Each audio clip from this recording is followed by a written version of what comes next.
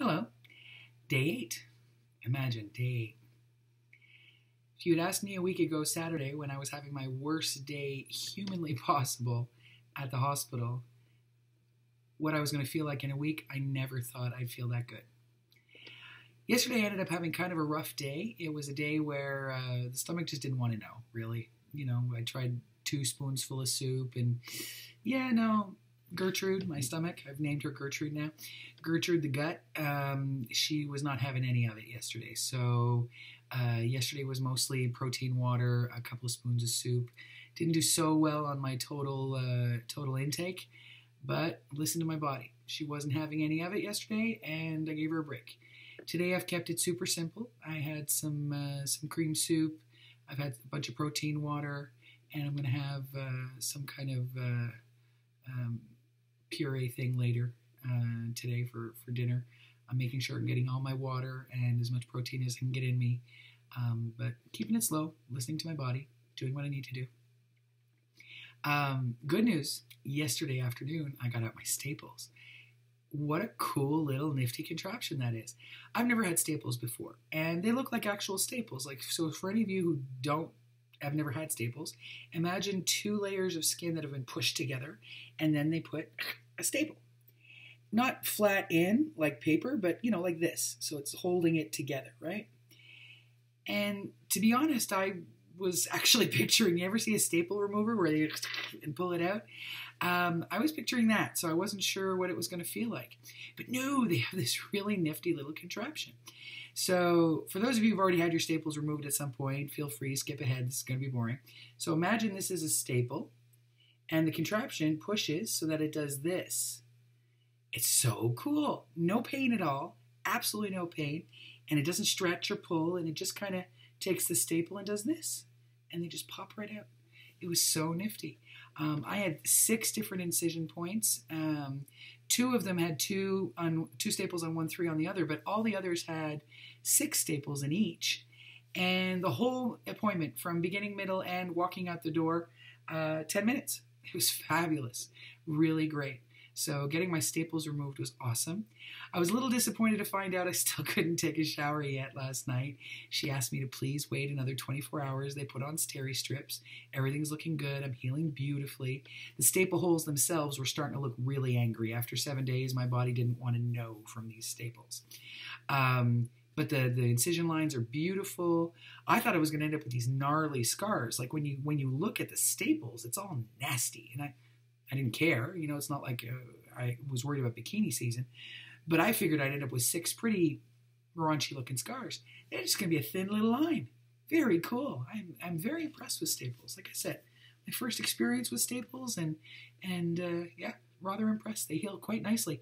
I find they actually heal better than stitches, like old fashioned uh, thread stitches. I find that there's you end up with a less of a scar. Well, that's what I think so far, based on what it looks like eight days in. So that's the beginning, middle, and end of my knowledge on the staple subject. So aside from that, today's a good day. Um, Uncle John popped in to check on me, and my brother and sister-in-law, uh, Alan and Kathy, came by for a visit. So we had coffee, and I got from the grocery store a little coffee cake type thing to offer them something to nosh on.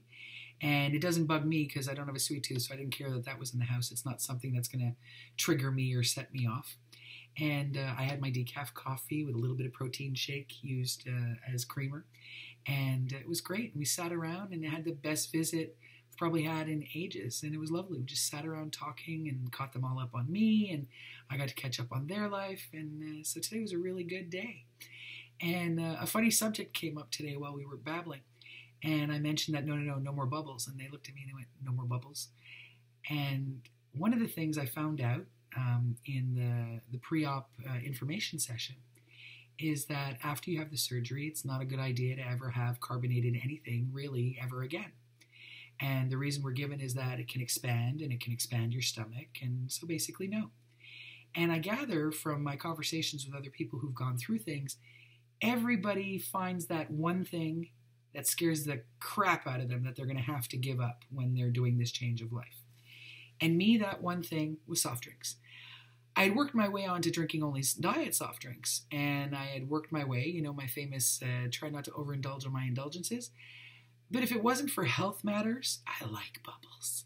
If it wasn't for the fact that it's not healthy for you in my regular life, even I'd have been drinking Diet Dr. Pepper, my favorite.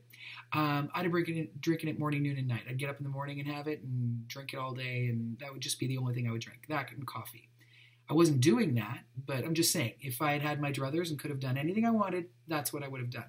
I love bubbles to the point that I've been saving up for one of those machines, you know, to put bubbles in your own water, trying to find yet another, like after I switched from full sugar soft drinks a couple of years ago, then wanting to switch to making my own carbonated something.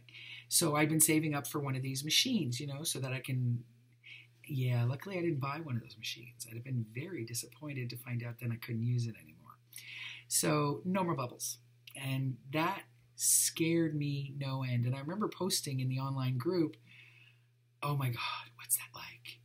Um, and everyone said, don't worry, you won't miss it. And I was surprised. Like at first, everyone said, "Don't worry, you won't miss it." And I thought, "You don't know me. You don't know how much I love bubbles. What do you mean, don't worry, I won't miss it? It's bubbles. I love bubbles. I love carbonated anything, but especially if it's really carbonated and like rips your throat out on the way down. Oh, yummy." So I gave up my my bubbles for the four week liquid diet. Now, technically, there was no calories, no carbs, no anything. Could have had some if I wanted, but I wanted that definitely that transition point. I wanted to not be going from bubbles to no bubbles on the night of my surgery. So I didn't have any. About halfway through my four week um, uh, pre op liquid diet, it was Dan's birthday. He and the kids were here, and I he loves bubbles the way I love, but there haven't been any in my house. Um, so I wanted to treat him. So I got a case of Diet Dr. Pepper, which we both love. And I gave myself a can. I opened it up, I had a sip. It was tasty. Drank about half of it, and then poured the rest of my uh, my can in Dan's glass. I was fine with it actually. Um, I'm not saying I'm not going to have moments in the future where I wish, oh, gee, a nice ice cold Diet Dr. Pepper, that'd be awesome, but I'm good. I never would have possibly guessed that giving up bubbles would be as easy as it is. Goodness, I think if giving up a lot of other things were as easy as giving up bubbles, life would be a little easier right now. Anyway, so I guess today that's what it's about staples and bubbles. Today's day eight. Oh, other good news. I weighed myself today. I've decided I'm only going to weigh myself once a week. I don't want to stress out and become obsessed and look at it every day. And eight days later, I am eight pounds lighter. So I'm very pleased. That brings my total up, including pre op diet, to 38 pounds lost. So I'm very happy. All in all, today is a good day. Family came over, visit. I'm feeling good. Stomach's feeling more settled. Staples are out. I get to shower tonight. And tomorrow, all things being equal, assuming Gertrude, the stomach, is, is in the mood for it, tomorrow I get to have an egg. Tomorrow is the first day of stage three very excited. An egg. So, uh, yeah, day eight is a really good day.